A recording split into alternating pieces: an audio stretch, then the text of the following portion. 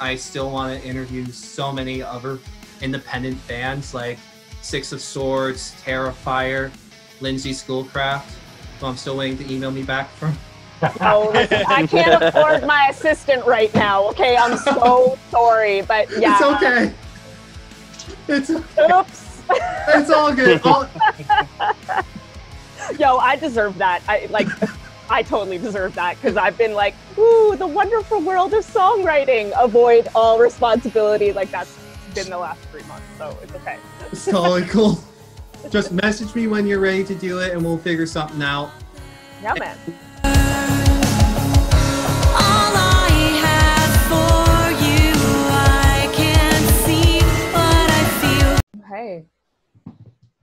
And I forget that. Wait, is it recording? Take your time.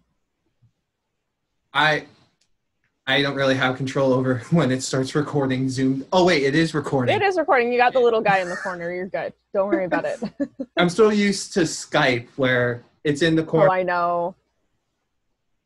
Okay, it's still not recording yet. No. Ladies and gentlemen, welcome to Thrasher's Paradise, and we are joined with actually someone that has a record that I'm surprised they they own.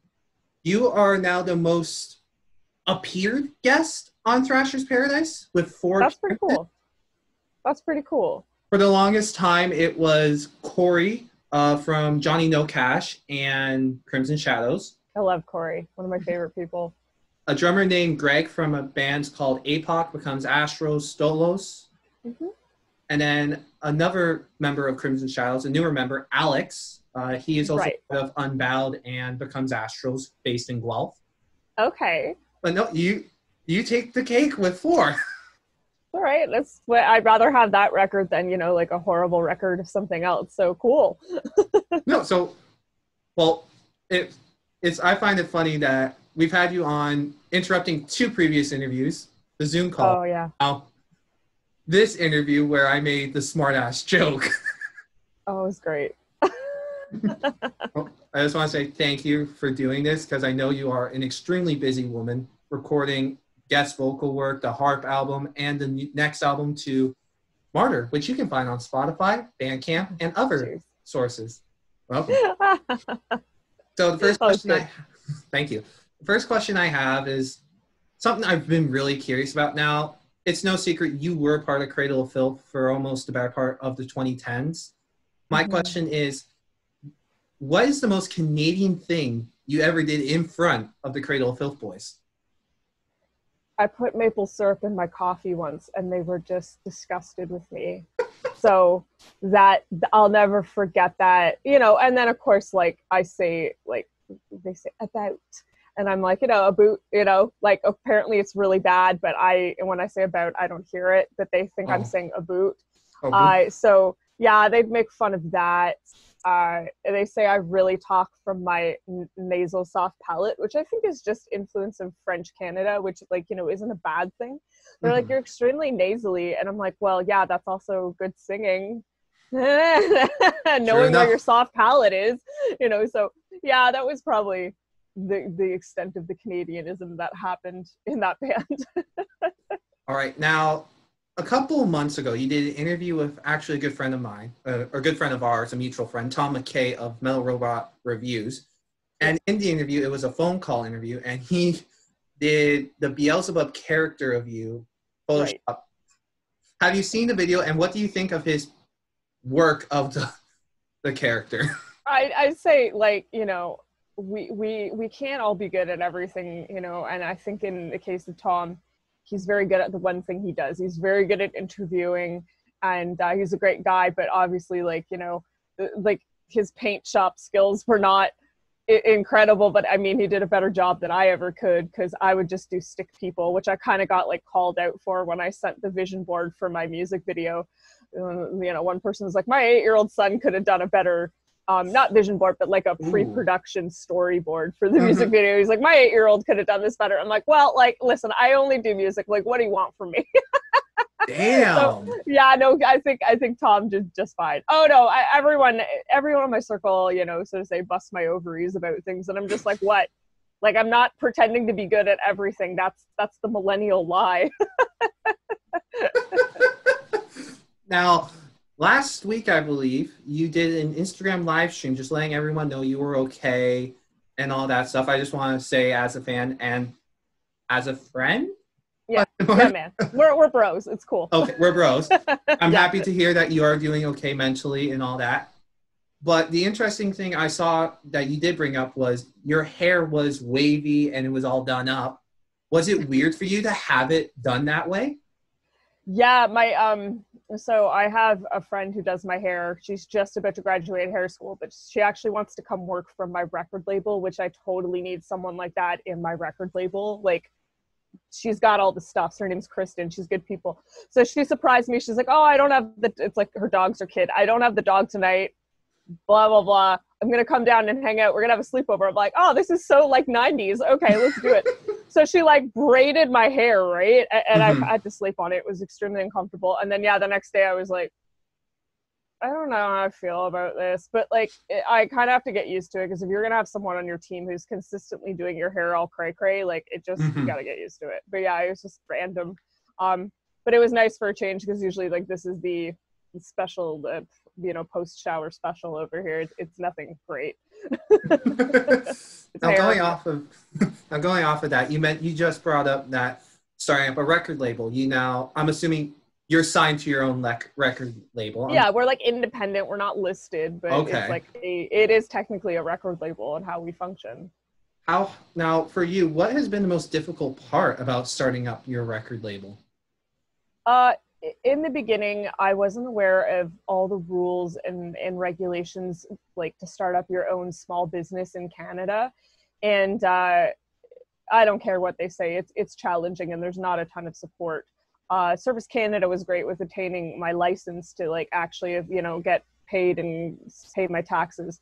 But there was a lot that i just was not ready for. And the first launch was like pretty messy behind the scenes but we we patched it up and we we worked hard and attacked it and made sure that there was no issues and now like you know taxes are paid government's cool um i think you know uh i didn't really realize i was starting a record label until i went to germany last summer and during a two week break between shows i met up with uh so uh, his name, he goes by Zen. He's the singer of of Scarce, but he also has a, a black metal band with me called Antiqva, and we also met with the guitarist Fabian.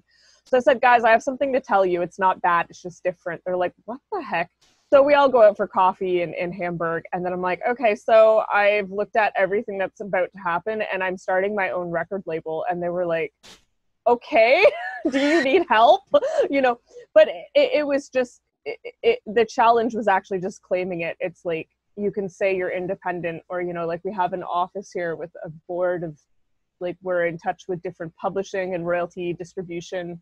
Um, we do all our own marketing and advertising, and um, yeah, we're we're like you know very um, I guess like a, a symbiotic breathing system that is always uh, self-sufficient, and we're just like really like we're not about like becoming multimillionaires, which would be Mhm. lovely because then I can afford the full orchestra for both DVD recordings.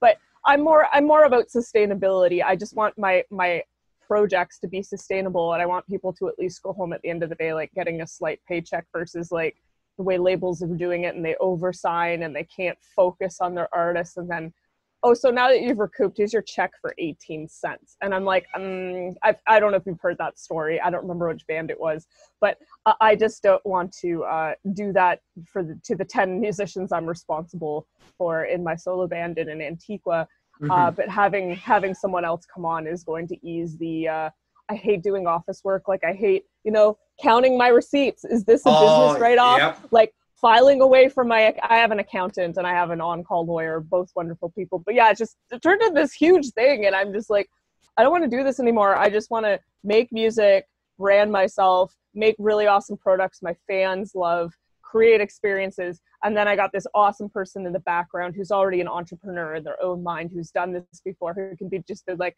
yeah i got that. I got the email. I got your to-do list. Like i'm just i feel so good to like have someone backing me and, and the, the thing is they want to do it and they also get to play with my hair. They love my hair because you know romanian genetics i've got a ton of it and i didn't know that most people's hair wasn't this thick. Oh, So you're part Romanian? and i'm mainly half romanian and half irish yeah Ah, that Hence the, the, this weird facial structure going on. I was gonna say that explains the Queen of Darkness persona. Uh, it, well, that's that. Dani loved that. Um, when I was in Cradleville, he loved that it was half Romanian, and he's like, "You're a vampire." he's like, "You're a potato eating vampire." I'm like, "Yes, I am." I love my potatoes. I can take it. Listen, I've been called everything under the sun. Being half Irish, I'm I'm over it. My freckles can handle it. Okay, now, I now I know my buddy. I know Tom recently interviewed too. Mhm. So I hope he didn't ask you this. Okay. I'm not too sure. I'll take a chance with it though. If he did, you don't have to answer it again. No, I don't care. Now, do you get confused for for being emo instead of goth? uh when the boom of emo so to say. I think that was what like near the end of the 2000s going into 2010 i Mhm. feel like that's when emo really started. So like for me when i saw the uprising emo even locally in my scene here in oshawa that's when the open door came out for evanescence which is my favorite album. And of course i had that attire. And at the time because i'm if you can't tell by my aesthetic and where I live, I'm a very colorful queen of darkness. I love my colors. Um, I'm okay with that. And and because I was such a colorful, uh, I guess baby bat at the time as a goth kid, so to say, I was in my very early 20s. Um, I did get confused as an emo kid quite a bit, and I was like, oh, I don't identify with emo at all. I didn't have the shaggy feathered hair or anything, and the only, I guess, so to say, even close to emo band I listened to was My Chemical Romance, but I didn't even know they were emo because like I came from a punk band in my teens. So I was like, well, to me, like My Chemical Romance was just extremely mainstream, catchy melodic punk with a slight dark edge to it. Like I had no Mhm. idea what emo was. So like, you know, and at the time we all joke like, uh, you know, even though I wasn't in my punk band anymore, I was still friends with them, and they always used to call me the emo kid. And I'm like, I don't understand this, but at the same time I do because I just actually purged my closet and I have a Mhm. lot of my clothing from back then and I'm like, okay, this was really Tim Burton. Like I can kind of see like I looked quite a bit like a character from Nightmare Before Christmas. So I was like, okay, I can see kind of like why I was getting the whole emo label because for some reason all of a sudden Nightmare Before Christmas like and Tim Burton aesthetic uh, went from being a baby bat thing, like a, a mall goth, I guess, so to Mhm. say thing, to all of a sudden like just being totally claimed by the emo culture. And I'm like, when did this happened. So I was just like, I don't know. But I just kind of like miss that. And I, I feel like I'm very inspired by that 90s club goth. Like that's more of my aesthetic. And of course, like going back into trad goth and all that stuff. Like I, I kind of that post punk thing. I, I've done my research. I know the history, but uh, you know, some goths will say, "Oh, emo is not uh, part of goth at all," but I kind of say, "Well, it is because trad goth came from post punk, and emo came from that darker punk, edgy, weird punk, so to say." So, like, I embrace it. I say, if you're dark and spooky, I'm all about you. So, like, I don't, I don't try to like exclude anyone, so to say. Okay. Yeah, sorry, long-winded. I've had a lot of coffee. Long-winded. Uh, oh no, no. There. I wasn't expecting like cuz I grew up with the I guess the emo scene. Yeah, wasn't really too sure about really the behind the scenes work of it. That yeah, really Yeah, I think I said it right, right? yeah, yeah. No, that makes sense. Yeah, I'm one of those people who like.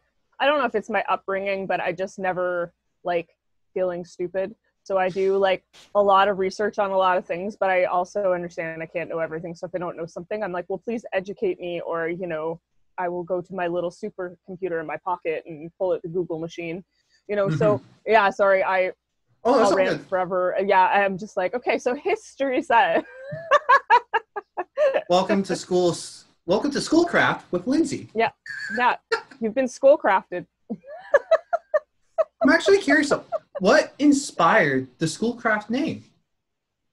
So, um, in my early 20s, I, oh gosh, my poor, poor young me, I went through 14 years of Roman Catholic school.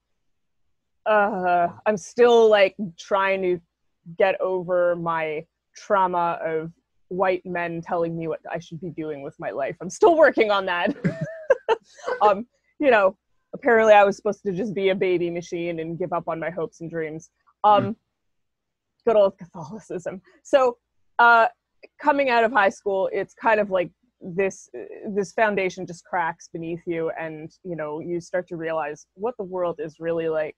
And at the time, I wasn't doing too well, and we were having a conversation over dinner one night with my family, and found out that there was Native Americans in my family, and sorry, First Nations, um, to be politically correct, First Nations in our family. So at, at the time, we thought we, they were directly in our bloodline, and I, I, was like, wow, was like, this is really interesting. You know, being me, I'm gonna go research it, and through that, I actually found a lot of what I believed as a very little child was very much rooted uh, rooted in their spirituality. So the native, the, sorry, the First Nations in my family, their last name was Schoolcraft. So I'm like, well, I'm just going to adopt Schoolcraft because, like, even though Okay. my legal last name is rooted in my Scottish Irish, um, you know, family, I really felt no connection to it. You know what I mean? Like, especially because when you go back to Scotland and Ireland, it's it's still Christian or Catholic, and it's very routed in that. And I didn't want to really identify with that anymore. It's still like you have to use your legal name as a songwriter when you're listed. That's fine. Um, but as an artist, as someone, you know, I, I I adopted the spirituality, which I still practice um, to to this day and I still look up on the readings and everything. And I have a native elder I can call anytime if you know a woodpecker just all of a sudden leaves me a pile of feathers, you know, just random stuff. Um, Mhm. but it's very it's very important to me. So yeah, I just adopted the name. Uh, it just sounded better. It felt better. I don't know. It was I thought it was more memorable and um more more kind of close to my heart than my actual birth name. Okay. Now, I've seen you talk about your first your audition tape for Cradle, and I've Oh, seen you talk about Martyr. But this next question is for the middle EP, Dead of Winter, which I haven't seen many people talk about with you. Right. And I'm very curious about the second track, which is a cover of Madonna's Frozen. Yes. What made you want to cover that particular song by Madonna?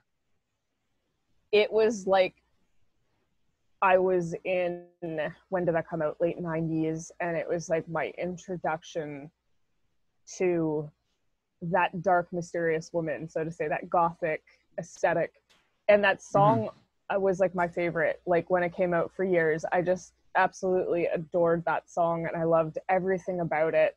And even going back now and listening to it and understanding production and all the instruments that they put into it, I was like, wow, this the song is amazing so I was humming and hawing, and um, before Rocky Gray showed up into the picture as part of my studio team and songwriting team and all that, um, it was mainly me, my producer Tyler Williams at Monolithic Productions, and Spencer Creaghan, who is um, an orchestral composer. He's fantastic to work with.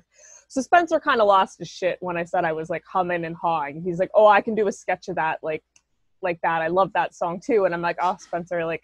We all like we, me and spencer we get excited about a lot of the same music.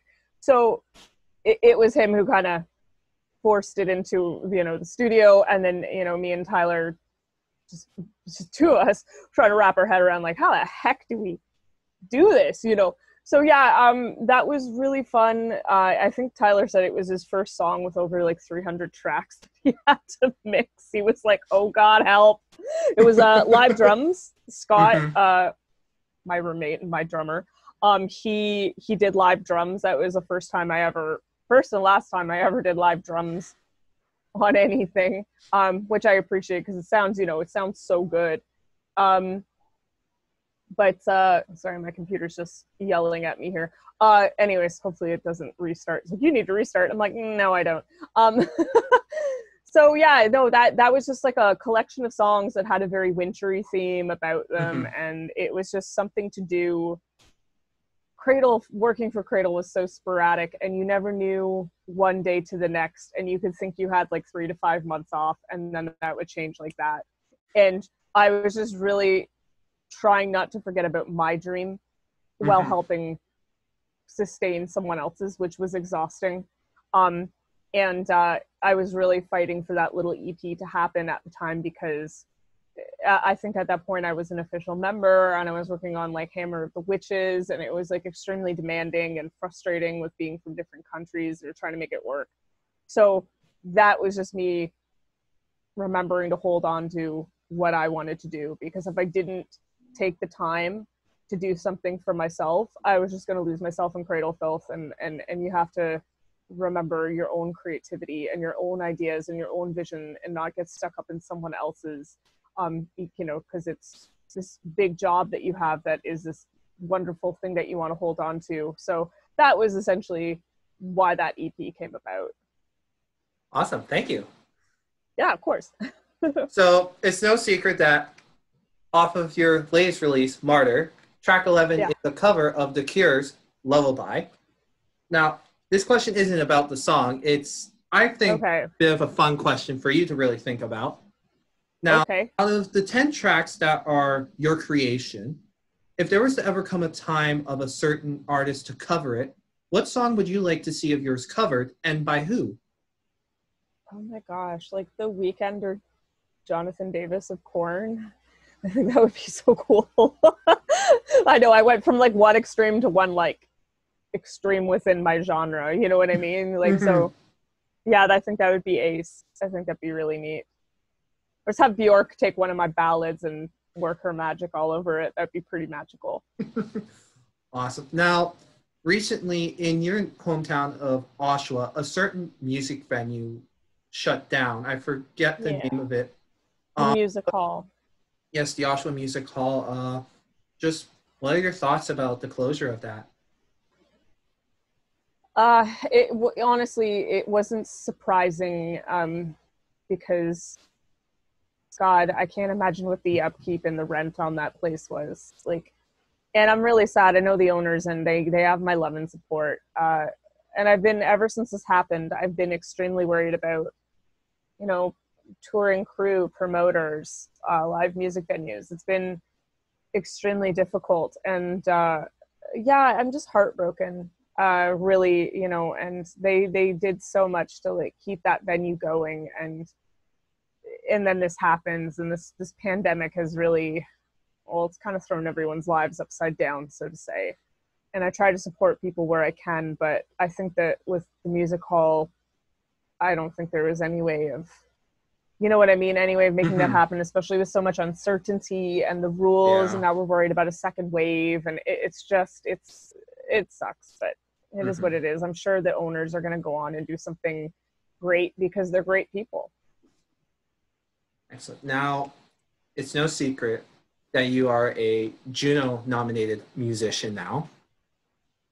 And they're currently on hold. There will be a ceremony at some point. Now, sure yeah I just want to get your opinion about my opinion, if you may.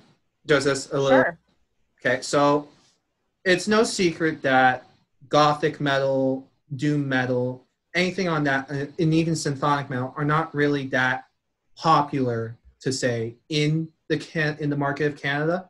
There aren't a lot of them in the independents and stuff like that. Like here in Ontario, we have newly Shadow Call, Cecile Monique, and yourself right now.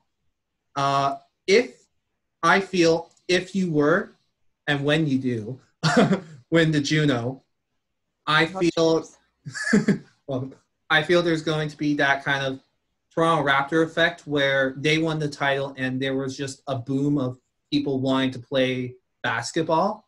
Kind of, I feel if you were to win, interesting there would be a. I feel there would be a bit more of a surgence of gothic doom symphonic metal in the Canadian market. that'd be cool that'd be really nice How do you feel about kind of what I'm saying? You know i'm just one of those people who just really lives my life and i just i really try to make the best of the day and make sure like i have i can get through the next month and i can get through the year. And i don't really think about the influence i have. I do. I take it seriously. The influence i have on people is something i take very seriously because i just want i want at the end of the day everyone to be happy and accepted and heard and seen and go on and live their dreams games essentially. So i mean i think that would be absolutely crazy um if all of a sudden like a resurgence of like gothic pop rock with all these like the undertones of the subgenres you mentioned like all of a sudden just became a thing in canada. I think that would be lovely um you know and i can understand why symphonic metal had its heydays between 2005 i guess trickling off at like about, a decade and and kind of halting about 2015 and then the oversaturation of the orchestra and heavy metal got really cheesy and just kind of resided back to Europe and was still being expressed and appreciated at European festivals. Um, but I think we can we can bring that back in a different way. Like it doesn't have to go away entirely, and it's it's really the music that I wanted to make with my team um, so I mean, it would it would be cool, but I just what I want people to do is to find their own voice in their creativity. If if if anything I'm doing is inspiring you, find find yourself in that. Like, um, I wasted so many years of my life for too long trying to be like someone else, and now I think it's the effect of the 30s. Now you're gonna hear a very different voice and slightly different style on my my next little release the harp album because you need to really just express music as who you are. So if anyone's like going to see what i'm doing and they're like oh now i want to do that it, you know if if to win i mean i'm just honored as is to be nominated. And if anyone in that category won i would be so happy for them because most of them are my friends and i just want to see everyone succeed and do well i feel like i'm doing that already in my own right. Um so uh yeah if they if they find me or they ever find this interview and they're like oh, i want to do what she's doing like do it in your own way. Like I, something that not a lot of people know that actually like i failed miserably on um and uh maybe it'll happen down the road is in the beginning when i started my solo project in place of guitars i actually wanted cellos. Like i wanted to do a very apocalyptica type thing but Mhm. Finding a cellist who understood that and could do that in this area was extremely difficult. And in the end, I got a good friend of mine to be like an accent in the background, which was lovely. But, you know, now that's kind of something that's shifted over to my black metal band and it really belongs there and it's really working. So, you know, if that's something you want to do, you want to make a prominent instrument. I mean, it, honestly, if, if there was more of a surgence of harpists and we could save the damn instrument, I would be more happy for that because looking into the history, I think there's two times in history where harps nearly went extinct and they like burned all of them. And, you know, now it's evolving into this electronic electroacoustic instrument and so much can be done with it with guitar pedals, which is kind of where I'm going in this next release because I just want to because I can. I have this I because I can complex like a Freddie Mercury thing or something. I want Mhm. it all and I want it now. So if there was all of a sudden this, you know, instead of my generation being totally in like like I know like anyone around my age who's into rock and metal, Evanescence heavily influenced them, and they all want to play the, the piano, and that's fine. The piano is a wonderful instrument. It's the compass of music. It, it helps you with everything. It's such a visual um, guide for singers and writing and theory. It's one of the best instruments to learn. But if all of a sudden now all these teenage girls want to take up the harp, I think that's amazing. Plus, the more we have available, the more affordable they're going to be. And I'm not complaining about that because, like, I want to buy more harps. You know, I'm going to be that lady with like 10 cats and 20 harps in my house in 10 years. And I'm okay with that. But yeah, like, I mean, if that's like, uh, I think that that would be really cool. But again, like, I, uh, uh, if, if I just like, I think if anything, like, if I ever want to leave an, a legacy or if I ever want to influence people, I just want them to find themselves, be inspired by anything I'm doing, and you know, um, kind of show people that you can do it yourself. You don't have to rely on other people to do it for you. I think that's like a huge mistake that a lot of artists make and get trapped into these labels and stuff, um, and managers and whoever else is um, hindering them more than helping them bloom. Mm-hmm. So that's kind of the legacy I want to leave. I mean, again, if if there's more symphonic metal in Canada, I would not be upset. I would be like, this is awesome. It'd be so great. I'd love to Awesome. see more classical players coming out of university into metal and playing metal than there is right now definitely like it'd be cool if you go you go to local shows and there's like a whole orchestra there but you don't even know it because there's like 50 people and they play like we have a whole orchestra in the room but y'all are here just to watch the metal show maybe that's how i'll find my orchestra i don't know but anyways Awesome. Awesome. Now, you did bring up the harp album. For you personally, what was the hardest, I guess, part about writing the harp album? I have this issue as a songwriter where I write far beyond my playing ability. Like I have these ideas, but I can't play that fast, or I can't play this technique, or I don't know how to play viola.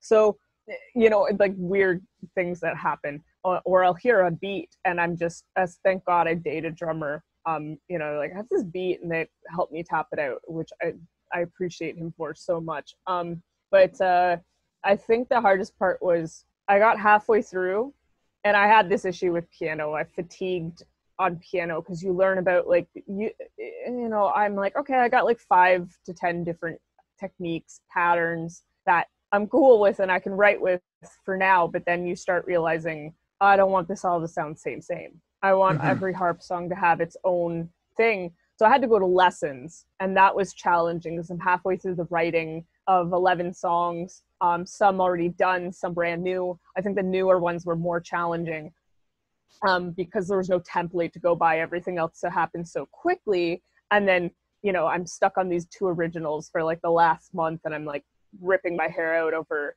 one of them being brand new and one of them Mhm. being very old and having to recreate a very old song, which was like lovely but also irritating beyond you know like cleaning the dust off that one was was just atrocious uh but we got through it so Mhm. uh yeah that i think that was the most challenging part was like it, it was fun but i i just sit down for two to four hours every day and do my lesson work and then write and then practice and then focus on groups of two to three songs at a time which essentially like led me to getting it completed. But, but yeah it was it was a it was a lot of work and now we haven't even gotten to the stage yet. Like we've done we've tracked many layers and like making that ambient sound. Like we haven't even Mhm. gotten there yet. We're actually once i'm done here chatting with you today that's where i'm going to end up. I'm going to go over to the monolithic productions and we're going to start combing through uh all the strings are done so i just want to hear the strings right now that's all i give a crap about Awesome. yeah Now, to bring up the Tom McKay interview once again, you did mention that after the harp album, the next, I guess, the next album after Yeah. Winter, it's going to be a bit heavier. And what Yes. you, in what sense do you mean it's going to be a bit heavier? Are you going to growl? Oh, I can, but I'm not like I think I sound terrible. Uh, my guttural vocals are just like gurgling. It just it's it's the Cookie Monster, you know, half awake. It's terrible.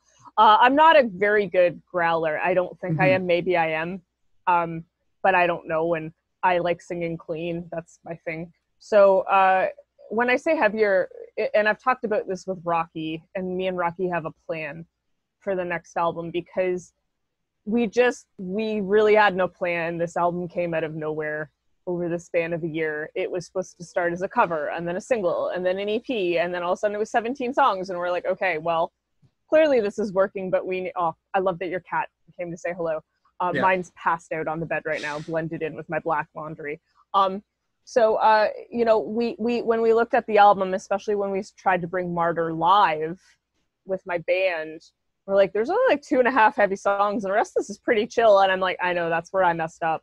So we're actually thinking about with every rock song sitting down, like we have plans to meet up once this pandemic does whatever it's going to do and we can actually travel again. Uh, Rocky would love to come here. Um, which Tyler is totally stoked about. I think everyone's stoked about it secretly. I'm like the Mhm. only one not freaking out yet. Um, and uh, so th- that's the thing like that album fallen by evanescence just changed my life forever and now the person who was a huge foundation in that sound is on my team and i've written an album with so that's cool. And uh, we're, we're actually gonna like sit with guitar and like jam and write the songs and like lead each other and and, and as we go we're gonna make sure that these things are like written for the live stage to really put, put Mhm. forward a pulse and an energy of a heavier a heavier setup. And I I really like that because like my favorite songs on Martyr are definitely like Savior and See the Light and the end of Lullaby because it's so darn heavy. And that's what I like you know I love that stuff obviously. Um Mhm. so yeah like we we really need to problem solve because we didn't really think about the live show when we were writing this album. We were just having fun. And then when it was all like wrapped up I'm like this is more like a hymn album. Like it's very chill gothic rock metal. And I'm like kind of want to really make some heavy stuff. like it's not Awesome. feeding my appetite Mhm. for heavier music, so to say. Like the the love I have of alternative and nu metal that came out in the early 2000s. Yeah, no, well, I am looking forward to hearing the next, I guess, I lost my train of thought. It's okay. it's okay. well, I'm looking forward to hearing both the Heart and the next album after that, which that might be titled You're Welcome. Now, looking at my clock, and we only have a couple of minutes left, so I'm going to ask you, I guess, two fun in, two fun questions. Okay. Now, Cecile Monique was asked this, and I actually have to go on my phone to get this because my memory's not that great. when it comes, Oh, it's it gets worse as you get older, I promise. oh man. Yeah, you need to-do lists and reminders. It's brutal. Okay. Which horror or fantasy character would you date? Oh my god. Okay, but he's gay, so like I can't date him.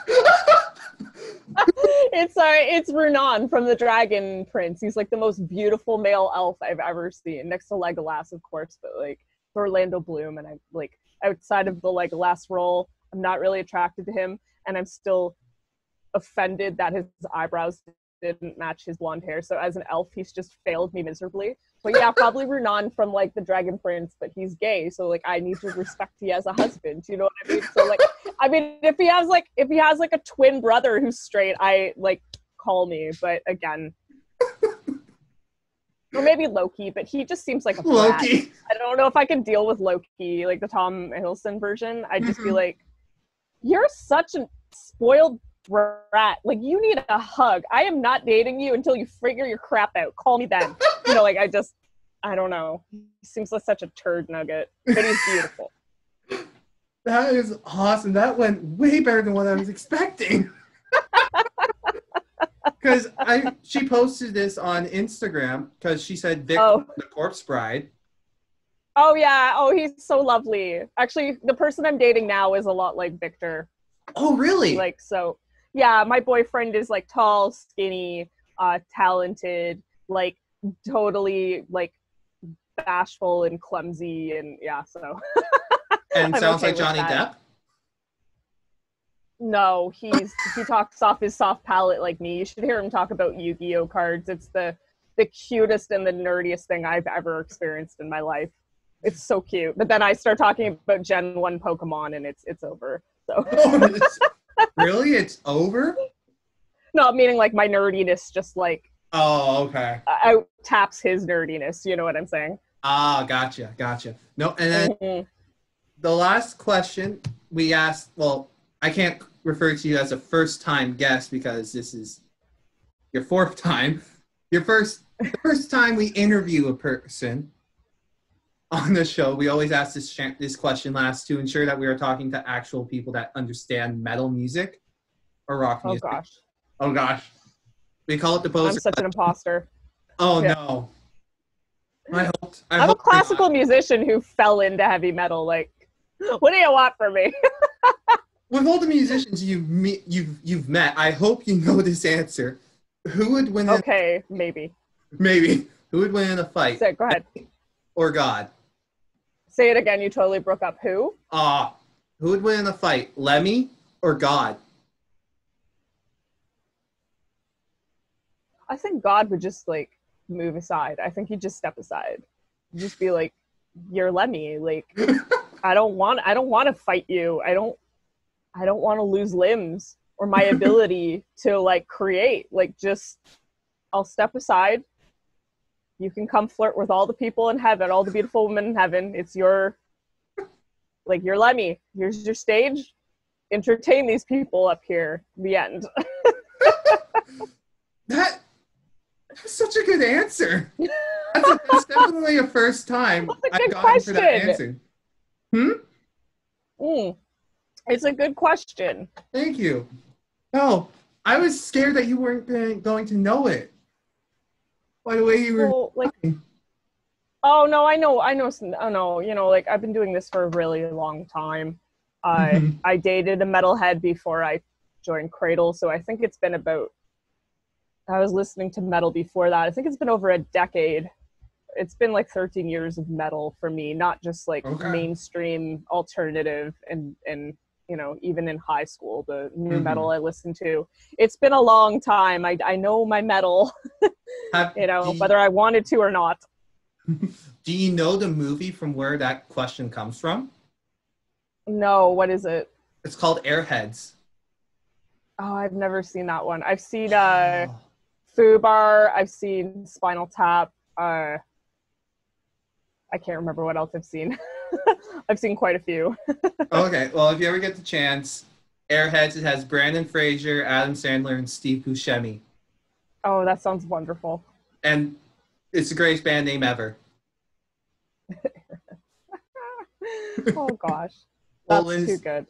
Well, Lindsay, our time is up. Thank you so much for doing this interview. I greatly appreciate this. Is there anything else you'd like to say to the people who are going to be watching this on YouTube? Oh gosh. Well, I hope you enjoyed it and you got a laugh. Uh yeah, thanks for showing up. That's I don't know what else to say. I kind of wish it wasn't ending. We're having so much fun. But I know, what it is. but I I'm having fun too. Don't get me wrong, but I know you'll be back for the Zoom call July fourth because we're Canadian Okay. and that means nothing for us. exactly. And they have their own issues with that day now, so they can just Yeah. figure it out. We'll be on Zoom. yeah. Well, no, Lindsay, again, thank you so much for this. I'm like, let's just not talk about America right now. Yeah, I don't. yeah, of course. I'm not. No, no, not me, not me. No. yeah, we're good. We're good. Bless. Good. I just wish them the best. Oh, same. Well, Anyways. I'm gonna stop recording now. Everyone, keep on thrashing, and